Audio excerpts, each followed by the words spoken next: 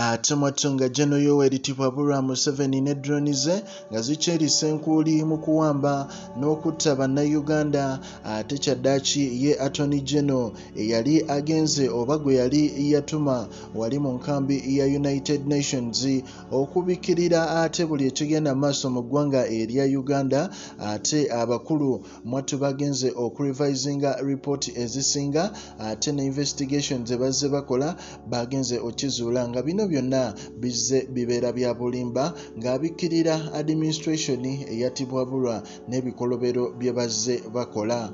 Progen media nagamba osookanga n'olikinga vidiyo ate mwatu n'okomentinga ng'omaze okugiwulira. Ate era nentumira ku baana abali wano e dubai abali e kata abali e jordan n'abali e uganda.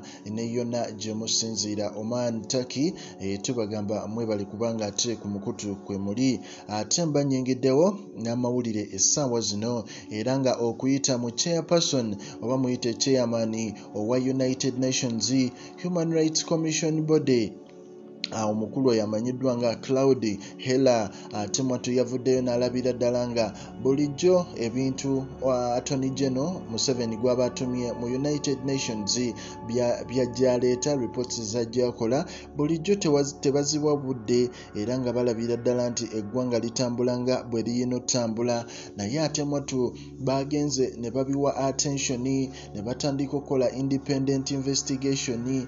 Ate mwatu bagenze okizuula nga ebikolobero bingi nnyo buli lukya ebigenda mu maaso mu ggwanga erya uganda.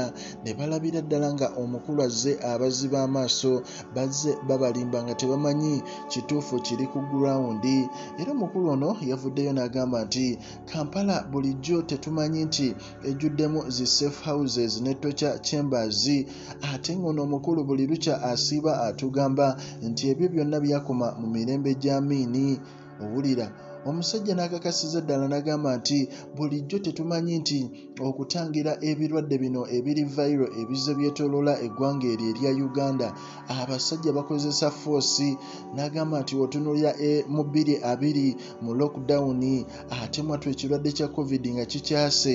N'agamba nti embeera gye bayisaamu ba citizens mu ggwanga erya uganda nga benfoosinga directive za tibwabulwa yali mbi nnyo nga bw'okiwulira omukulu yenyamidde n'agamba bulijjo uganda tetugitaddeeko maaso ku ebyo ebigendayo mu maaso naye ng'ate abantu bayisibwa bubi nnyo.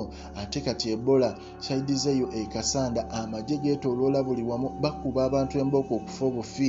Oyinza okugamba waliwo ekintu ekyenjawulo ekisukka ku ebola?